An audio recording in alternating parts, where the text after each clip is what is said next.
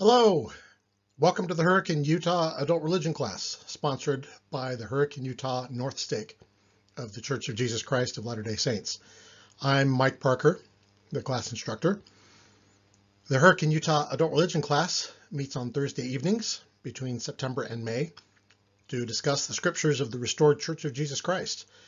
If you live in or are visiting the Hurricane St. George area, I'd love to have you join us. The time and location are available on the class website. Links to the class website are available in the show notes for this video. On the website, you can download my notes, which includes footnotes documenting my sources, this PowerPoint slide presentation, and handouts that I distribute in class. Please note that this YouTube channel and the class website are not official sites of the Church of Jesus Christ of Latter-day Saints, the Hurricane Utah North Stake, or any other church unit or department. I alone am responsible for these sites and the materials on them. If you enjoy this lesson, please click the like button and share it with a friend. And if you haven't already subscribed, please do so. That way you'll be notified when new content is posted to this channel. In this lesson, we'll be studying Alma's confrontation with Korihor and his mission to reclaim the Zoramites. The key individuals in this lesson are Korihor, a man who came into the land of Zarahemla, and he was anti-Christ. Ammon, the oldest son of King Mosiah and high priest in the land of Jershon. Giddonah, high priest in the land of Gideon. Alma, high priest over all the Nephites in the land of Zarahemla. Zoram, three, leader of a group of apostate Nephites called the Zoramites. And Amulek, a missionary companion to Alma. The outline of events in this lesson is Alma contended with Korihor. Alma led a group of missionaries to the land of Antionum to reclaim the apostate Zoramites. This lesson begins with an account of Korihor's preaching in Jershon, Gideon, and Zarahemla. It then moves to the land of Antionum, which bordered Lamanite territory in the east near the seashore. The first four verses of Alma chapter 30 refer to events that took place during the 16th year of the reign of the judges, circa 79 BC. But the rest of the events in this lesson all took place in the latter half of the 17th year of the judges, circa 78 BC briefly recapping the events leading up to this lesson. Sixteen years ago, the sons of Mosiah left to preach to the Lamanites in the land of Nephi. They converted thousands of Lamanites to the gospel of Christ. These people called themselves anti-Nephi Lehis, joined with the Nephites, and settled in Jershon in the land of Zarahemla. Eight years ago, Alma, in his role as high priest, began going throughout the land of Zarahemla, strengthening the church and contending with wickedness. In Ammonihah, he was joined by Amulek, who became his missionary companion. Two years ago, there was a tremendous battle between unconverted Lamanites and the Nephites. The Nephites were victorious, but only at the cost of thousands of lives. After the great battle with the Lamanites, there was fasting and mourning and prayer among the Nephites. They experienced continual peace for nearly two years. Alma 30, verse 6, quote, But it came to pass in the latter end of the seventeenth year, there came a man into the land of Zarahemla, and he was antichrist, for he began to preach unto the people against the prophecies which had been spoken by the prophets concerning the coming of Christ. Unquote. This man was Korihor, the third major individual in the Book of Mormon who was antichrist, and the only one explicitly called by that term. The term Antichrist appears in the epistles of John in the New Testament. John described an Antichrist as one who denieth that Jesus is the Christ, denieth the Father and the Son, and confesseth not that Jesus Christ has come in the flesh. Such persons are apostates, those who went out from the church, but they were not of the church. Otherwise, they would no doubt have continued with us. Korihor wasn't an antichrist in the sense of being a false Christ. Rather, he was anti-Christ in the sense of being opposed to Christ. Korihor preached against the prophecies which had been spoken concerning the coming of Christ and taught that there should be no Christ. Mormon explained that the Nephites had no law against a man's belief. Their law only punished acts, including murder, robbery, and adultery. Korihor taught that Nephite beliefs were foolish traditions, believed only by people who were of a frenzied mind or who suffered from derangement. Korihor instead argued for a materialist or empiricist philosophy, in which only things which can be examined with the five senses are real. A naturalist philosophy, in which there are no higher laws than the laws of nature. And a philosophy of moral relativism, in which there are no objective standards of right and wrong, only beliefs about what is right and wrong, which vary between persons and societies. Korihor's arguments focused on the philosophical theories of epistemology, metaphysics, and axiology. Epistemology is the study of knowledge. It explores how we know what we know. Korihor asserted that you can't know of things which you don't see. Therefore, no man can know of anything which is to come.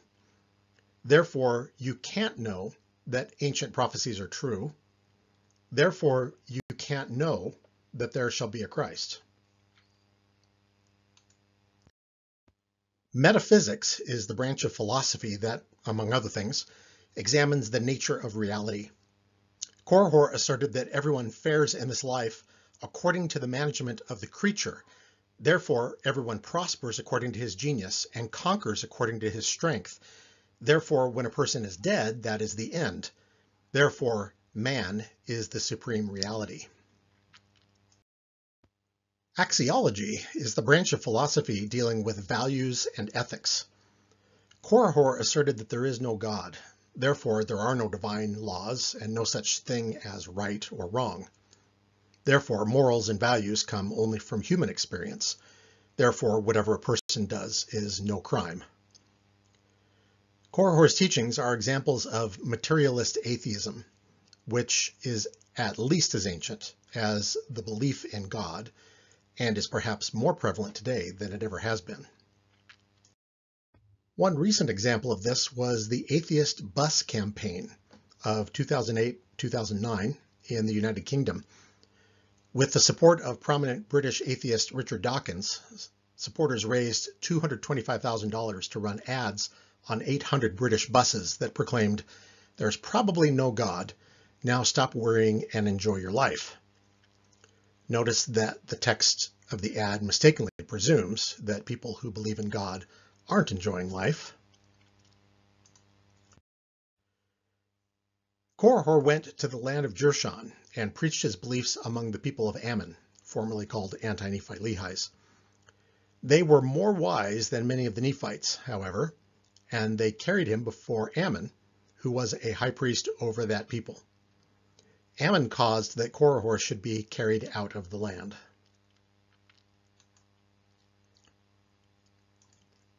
Korihor next went to the land of Gideon. The people there also brought him before their high priest, Giddonah, who asked Korihor why he taught the things he did. From Korihor's response, we learn more about his beliefs. Korihor declared that men and women are not guilty and fallen because of Adam's transgression, for a child is not guilty because of his parents. This is a distortion of the doctrine of the fall. Children are not guilty because of Adam. Rather, they are born into a fallen world and experience temptation. Korihor claimed that religious belief binds people down and keeps them in ignorance, which gives the priests power and authority over believers, so they may glut themselves with the labors of the people's hands. He also asserted that believers didn't retain their money and possessions for fear of offending some unknown being who they say is God, a being who never has been seen or known, who never was nor ever will be.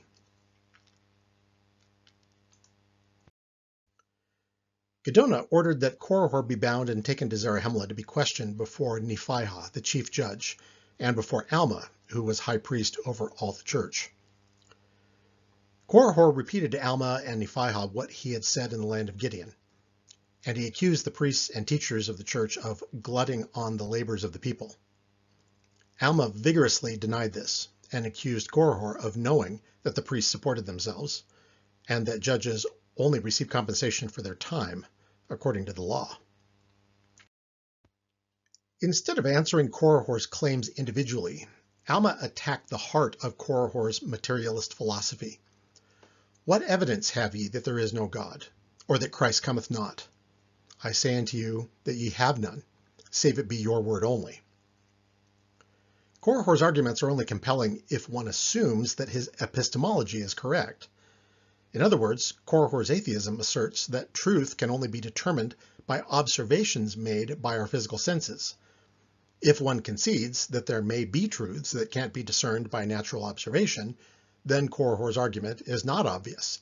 At best, it's only one possibility. In response, Korihor appealed to materialism again. He asked to be shown a sign that there is a God. But Alma said unto him, Thou hast had signs enough. Will ye tempt your God? Alma told him, All things denote there is a God, including the testimony of all these thy brethren, that is to say, the believers in Christ, the testimony of all the holy prophets, the scriptures, the earth and all things that are upon the face of it, yea, and its motion, all the planets which move in their regular form. Korihor denied all these witnesses and again insisted on being shown a sign. This grieved Alma, who feared that Korihor's soul may be destroyed. But he said, it is better that should happen than that Korihor should bring many souls down to destruction. He warned Korihor that if he denied again, God shall smite thee, that thou shalt become dumb, or mute, that thou shalt never open thy mouth any more, that thou shalt not deceive this people any more. In response, Korihor attempted a dodge. He said that he did not deny the existence of a God, but simply that he did not believe that there is a God. He further claimed that Alma could not know there was a God. Without a sign, he said he would not believe. With this statement, Korihor retreated from atheism, the insistence that no God exists, to agnosticism, the acceptance of the possibility that a God exists, but that there is no evidence for the existence of such a being. Alma followed through on his warning and struck Korihor dumb, and apparently deaf as well. The chief judge asked Korihor if he was convinced yet, and Korihor confessed in writing that he always knew that there was a God, but that the devil hath deceived me, for he appeared unto me in the form of an angel, and told him to teach what he did. Korihor begged Alma to lift the curse from him, but Alma refused because he knew that Korihor would begin teaching lies again. Korihor was forced to resort to begging to support himself. The people throughout the land were warned about what had happened to him, and they repented. Korihor went among the Zoramites, where he met an unfortunate end. He was run upon and trodden down, even until he was dead. Mormon concluded this account with the moral of the story of Korihor. Alma 30, verse 60, quote, And thus we see the end of him who perverteth the ways of the Lord. And thus we see that the devil will not support his children at the last day, but doth speedily drag them down to hell. Unquote.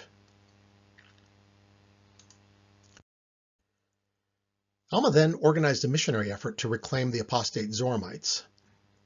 The Zoramites were a Nephite separatist group who followed a man named Zoram, who was leading the hearts of the people to bow down to dumb or mute idols. The Zoramites had gathered themselves to the land of Antionum on the eastern seashore, near the borders of the wilderness that separated the Nephites from the Lamanites. The Nephites were afraid that the Zoramites would ally themselves with the Lamanites Alma was also sorrowful because of the iniquity of the Zoramites and their separation from the Nephites, because the preaching of the word had a great tendency to lead the people to do that which was just, yea, it had had more powerful effect upon the minds of the people than the sword or anything else which had happened unto them. Therefore Alma thought it was expedient that they should try the virtue or power of the word of God upon the Zoramites. Alma assembled a missionary group consisting of his the three eldest sons of Mosiah, Ammon, Aaron, and Omner, Amulek and Zeezrom, who had converted to the gospel when Alma preached in Ammonihah, and Alma's two younger sons, Shiblon and Corianton. The Zoramites were Nephites, so they had been taught the word of God.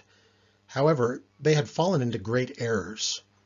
In addition to worshiping idols, they did not keep the law of Moses or observe the performances of the church. Most notably, the Zoramites did not continue in prayer and supplication to God daily, that they might not enter into temptation. Daily prayer is our first line of defense against drifting from the gospel. The Zoramites had built places of worship, the likes of which Alma and his brethren had never seen before. Each place had a Rameumptom, or holy stand, at its center, which was tall and would only admit one person at a time.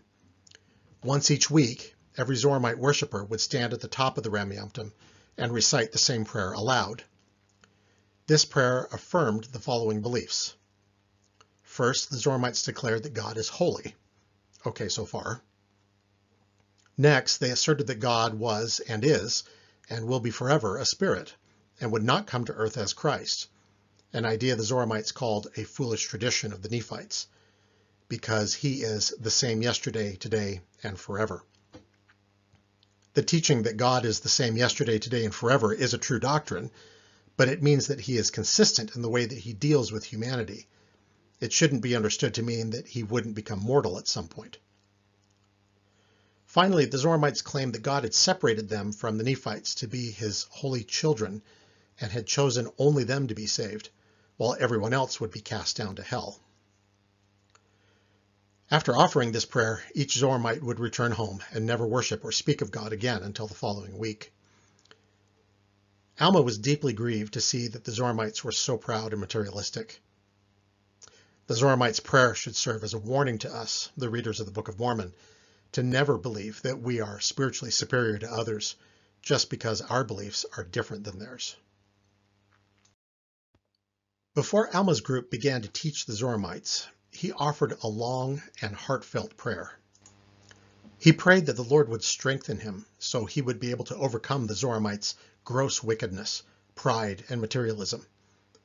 He also prayed that the Lord would strengthen his companions he concluded by praying that the Lord would grant them success in bringing the Zoramites, their brethren, to Christ. Alma 31, verses 34 and 35, quote, O Lord, wilt thou grant unto us that we may have success in bringing them again unto thee in Christ.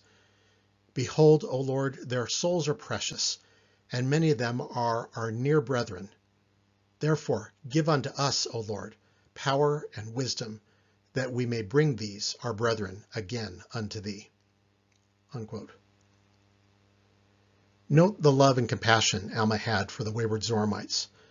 Contrast this with the contempt the Zoramites had for the Nephites. Alma then clapped his hands upon each of his brethren, and they were filled with the Holy Spirit. The missionaries separated to preach to the Zoramites. The Lord blessed them spiritually and physically. They preached in the Zoramite synagogues, homes, and streets. The missionaries began to have success among the poor Zoramites, who were cast out of the synagogues because of the coarseness of their apparel and esteemed as filthiness. Because of these experiences, not only were they poor to things of the world, but also they were poor in heart. When Alma was preaching outside the city on the hill Onidah, a large group of impoverished Zoramites came to him, told him they had no place to worship, and asked, What shall we do? This filled Alma with immense joy, for he beheld that their afflictions had truly humbled them, and that they were in a preparation to hear the word. He began to teach them. Throughout human history, poverty has continually been looked upon with contempt. People who are poor are often unjustly accused of being lazy, ignorant, or even cursed by God. That's certainly how the Zoramite elite treated the poor among them. Alma, on the other hand, saw their condition as beneficial because it had led them to humility and a desire to know how to worship God. Alma first taught them about the importance of humility. Alma mentioned that he had noticed the poverty of their hearts, and he told them that they were blessed for this condition. In 108 years, Jesus himself would teach the Nephites Blessed are the poor in spirit who come unto me, for theirs is the kingdom of heaven. Alma then told them that it was a good thing that they had been mistreated, because this had compelled them to be humble, and through that they could learn wisdom, seek repentance, and find mercy and salvation. But, he said, instead of being compelled, those who truly humble themselves because of the word are more blessed because they lack a stubbornness of heart. Alma next taught about the importance of faith. He first established what faith is. Faith, or belief, is different than knowledge. If a man knoweth a thing, he hath no cause to believe, for he knoweth it. Faith is not to have a perfect knowledge of things. Therefore, if ye have faith, ye hope for things which are not seen, which are true. Alma 32:19, quote, And now, how much more cursed is he that knoweth the will of God and doeth it not, than he that only believeth, or only hath cause to believe, and falleth in transgression. Unquote.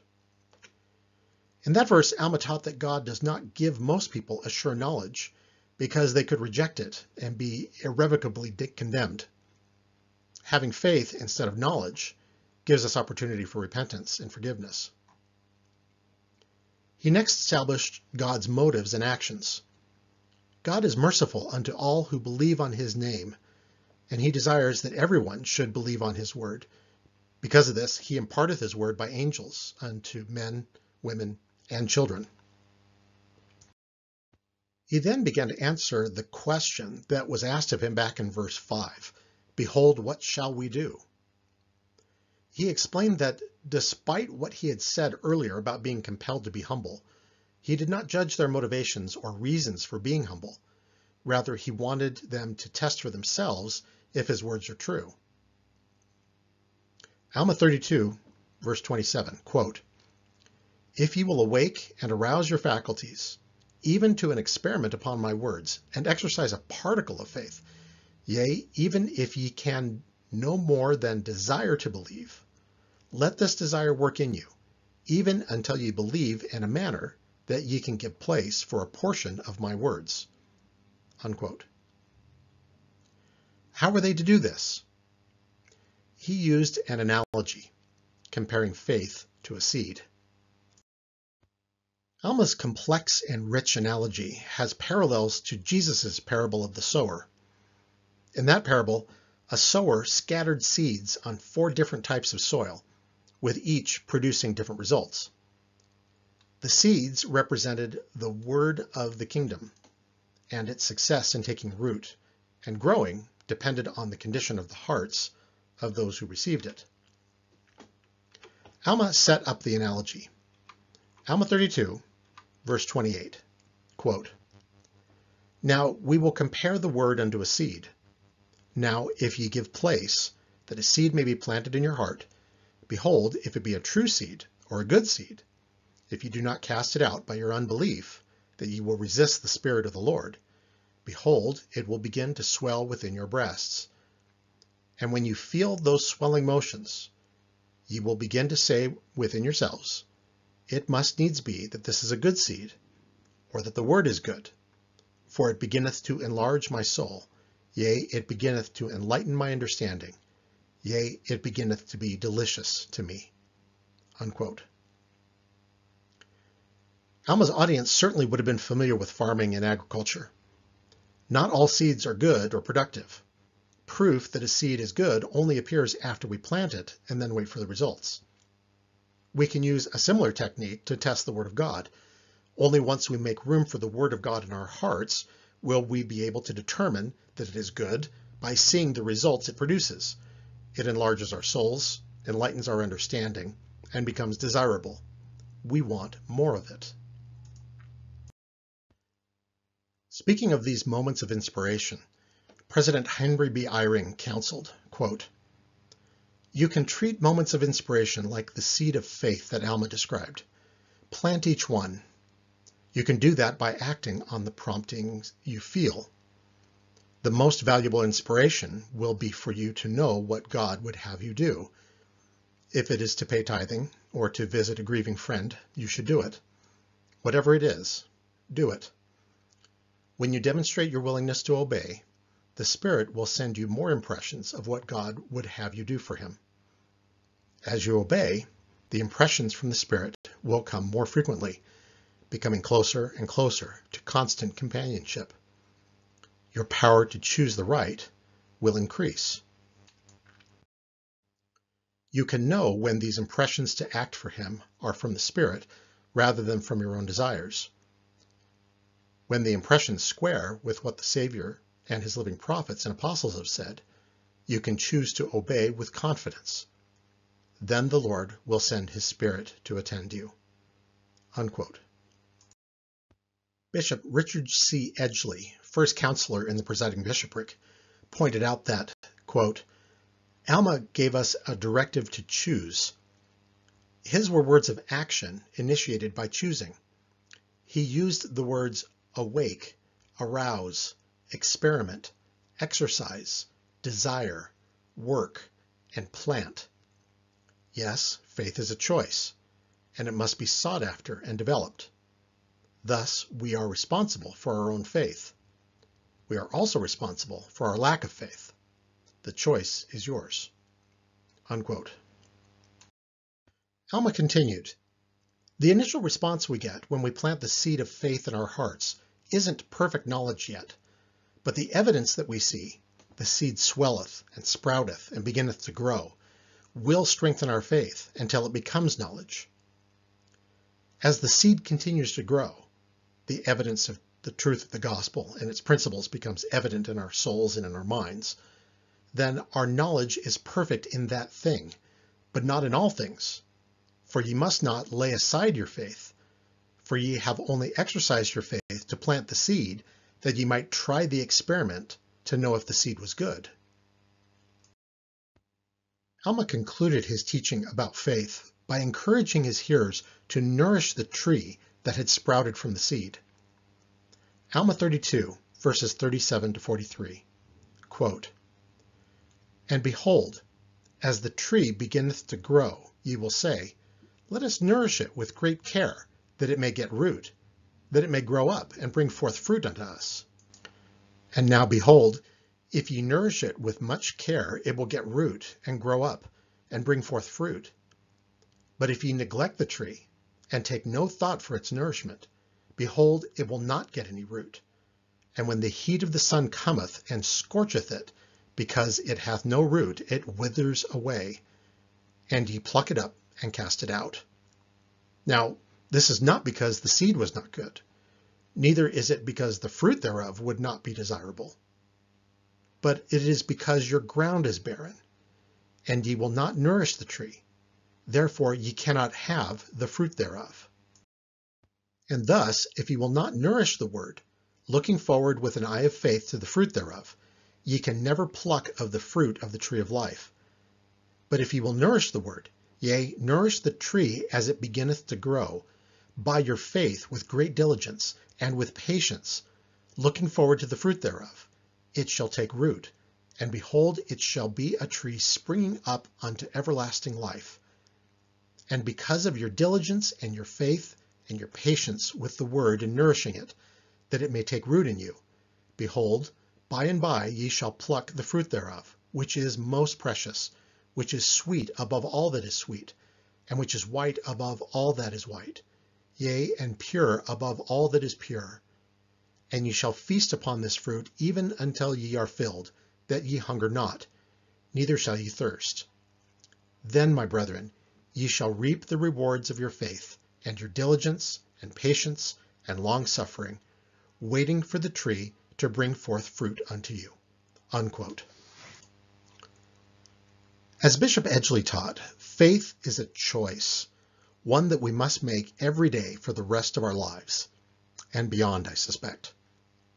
We must nourish our tree of faith with much care if we expect it to continue to grow.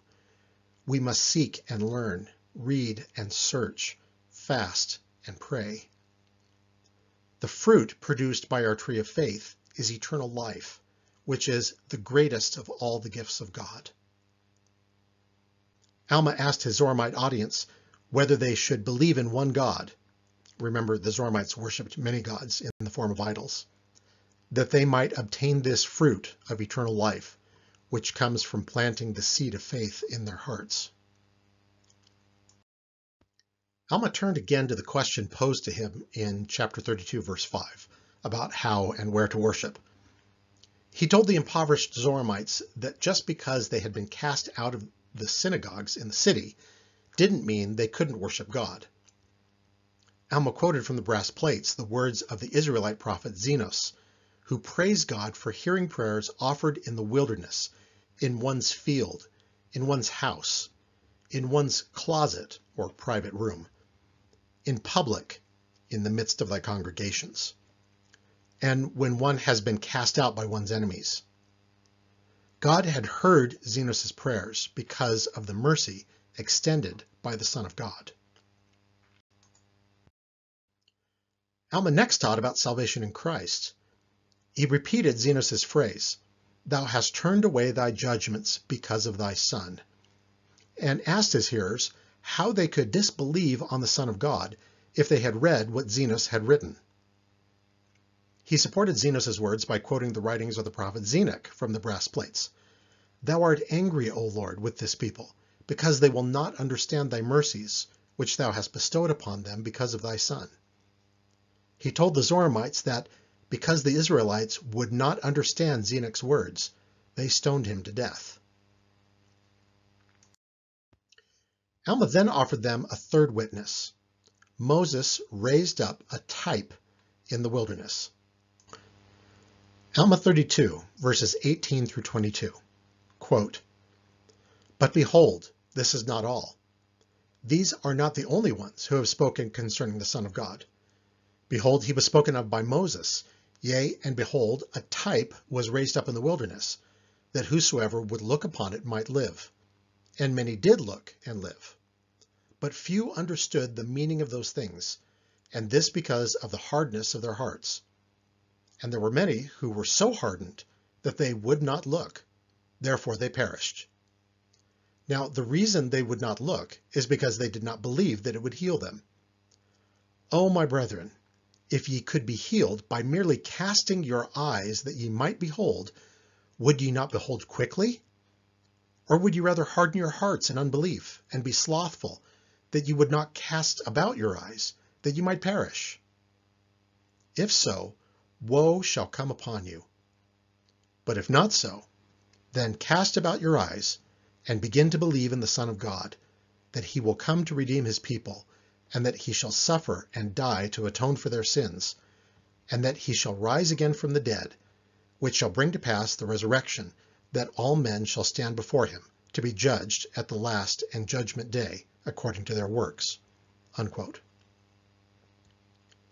This is a reference to an incident recorded in the Old Testament book of Numbers, in which the Israelites complained about having to eat manna every day. So the Lord afflicted them by sending fiery serpents among them. Moses erected a brass serpent on a pole, and any Israelite who looked on the brass serpent in faith was healed.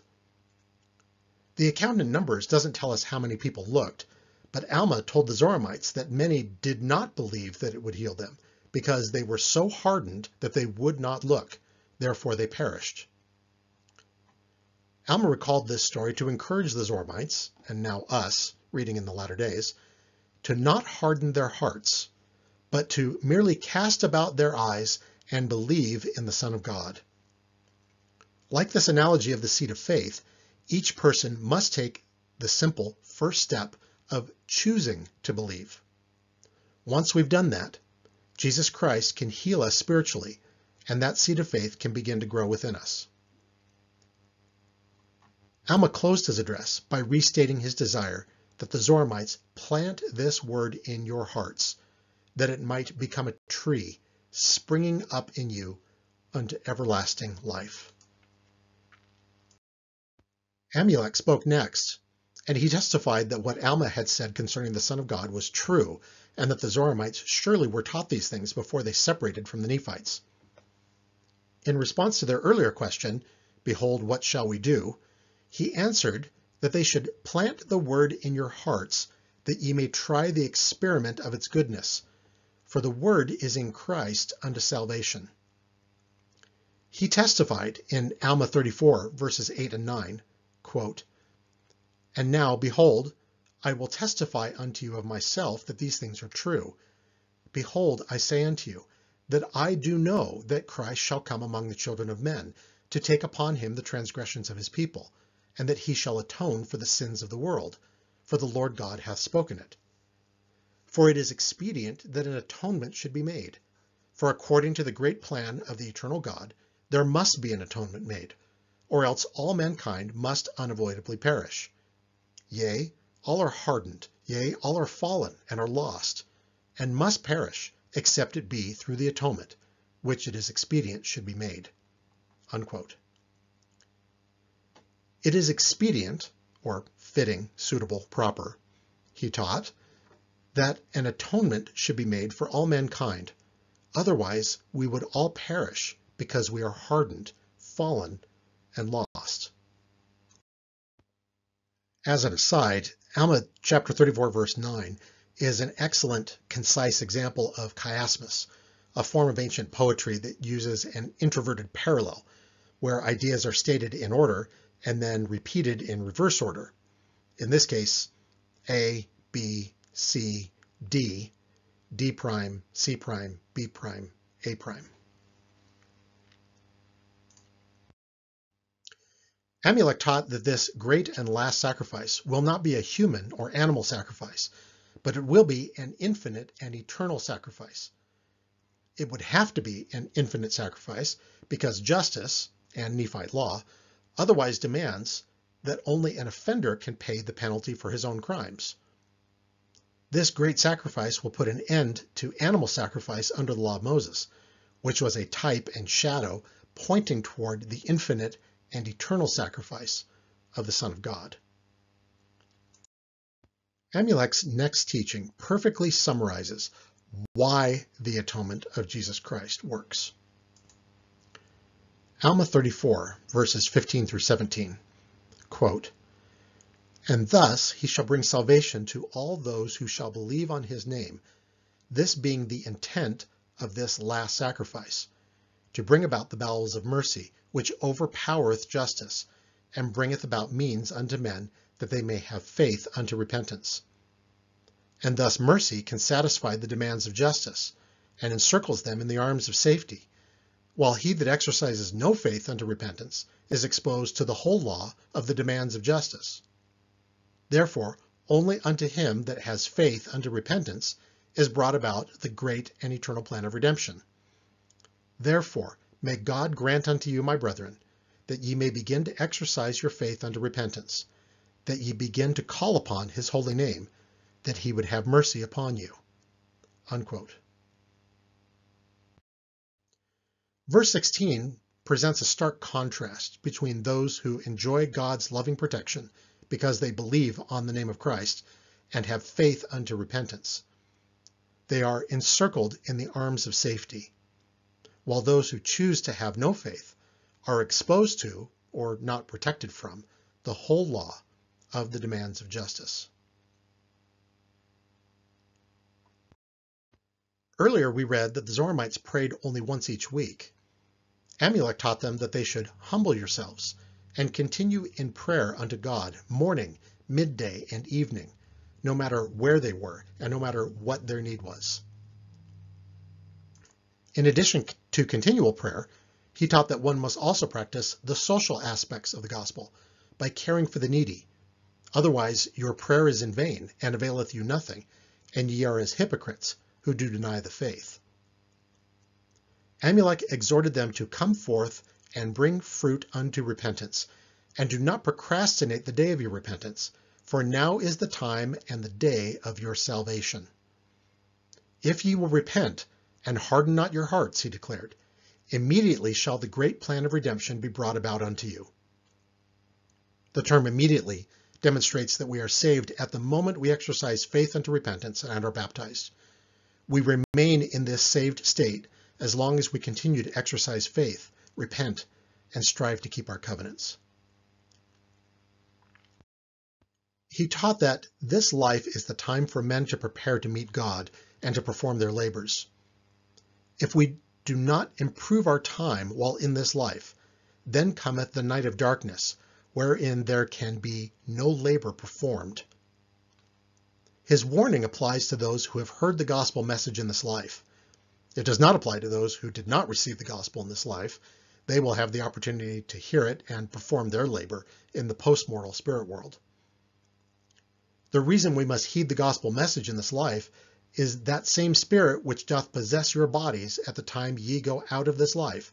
That same spirit will have power to possess your body in that eternal world.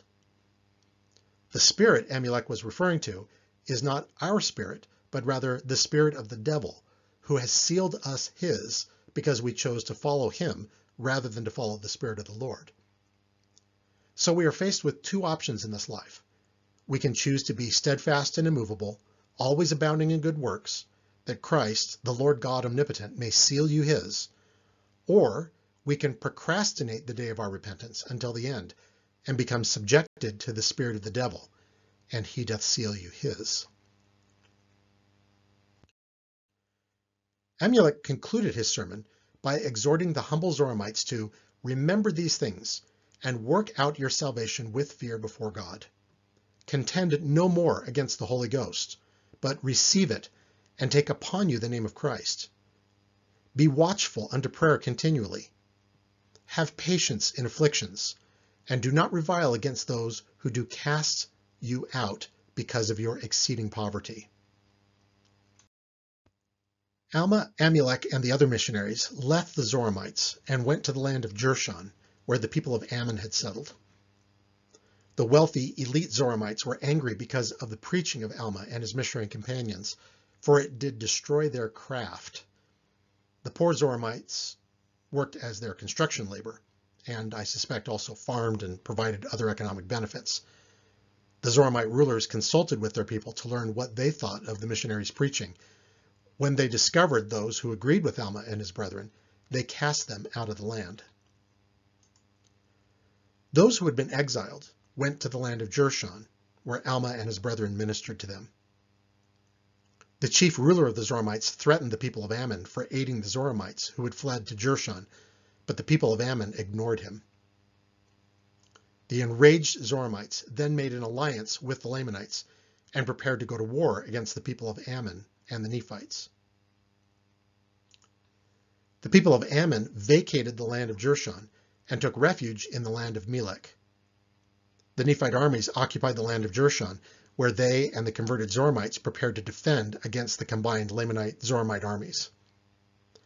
Alma 35 verse 13 explains that these events provoked a 14-year war between the Lamanites and the Nephites. We'll read about that war in two lessons from this one. That concludes this lesson. If you enjoyed it, please click the thumbs up button and leave a comment below. Please subscribe if you'd like to be notified when new lessons are posted to this channel and visit www.huarc.org to download these notes, this slideshow, and the handouts I've prepared for this class. Our Book of Mormon class will be taking a break for the next two weeks. When we return, we'll review and discuss Alma's counsel to his three sons, Helaman, Shiblon, and Corianton. The reading is Alma 36 to 42. See you then.